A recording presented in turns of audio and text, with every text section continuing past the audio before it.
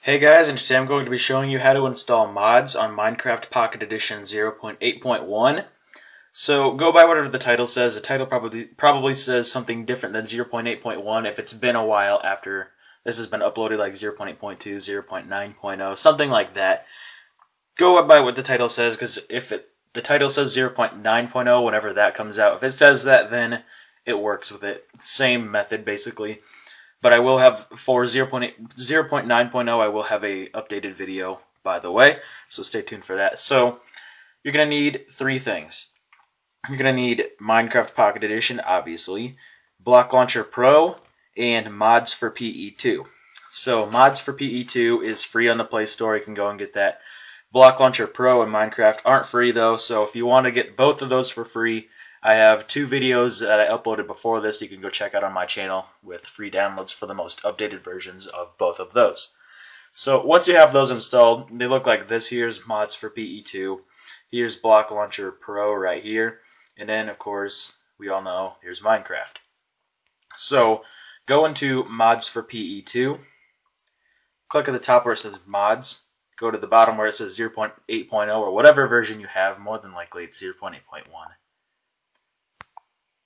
500. oh, These are the two different developers that are developing right now. There's KSY Minecraft and 500 Internal Server Error. Both of them are really good developers. So go to whatever you want. I'm gonna go with Walk Faster. So give it a chance to download. Once it does, it'll just tell you where it saved it. Hit close.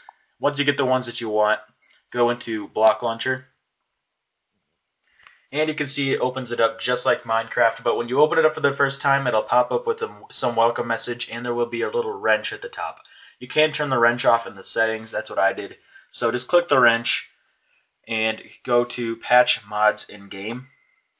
So here it'll have a list of the different mods that you have. So by default, they will be disabled. So when you want to, if you want to enable the one that you just downloaded, do click on it, hit enable, then go back, go to whatever world you want, and I'm walking faster. And you also can see that I have um night and creative, so that is also a cool thing. Infinite health too. Look at that. Take that, bitch.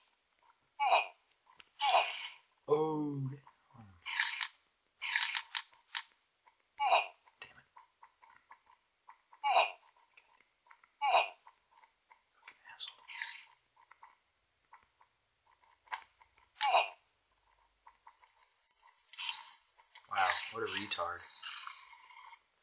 Anyways, thank you guys for watching. If you're not subscribed, I recommend that you hit that subscribe button. I do videos kind of like this, also on the PC version of Minecraft, along with just random Android tutorials. So, this is kind of stuff you're into, hope you subscribe, and see you guys in the next video. Thanks.